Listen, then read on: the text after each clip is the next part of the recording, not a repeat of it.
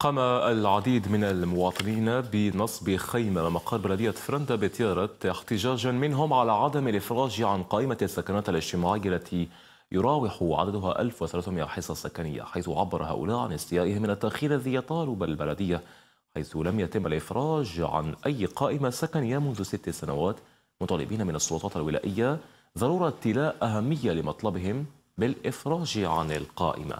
التفاصيل مع ديار بن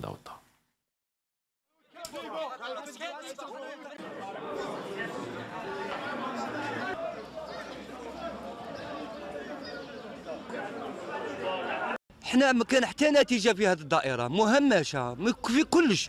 هذا السكاني راهم رشاو. كملوا كملوهم وراهم راشين يا عباد الله. واش شاو المشكل؟ وين راه المشكل؟ علاش موش باغي يعلقوا لهذه القائمة تاع السكن؟ كاين مشكل. من 2013 يا عباد الله. إحنا ماناش جزائريين.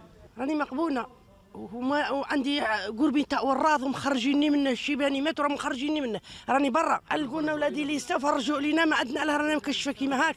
هنونا وهنوا رواحكم. أنا عندي رسالة نوجهها. نوجهها للوالي ولاية تيرت غادي نوجه له رسالة نقول له علاه راك حاقرنا إحنا حنا حنا يا بلدية فرندا جيست نيشان على راك حاقرنا حنايا.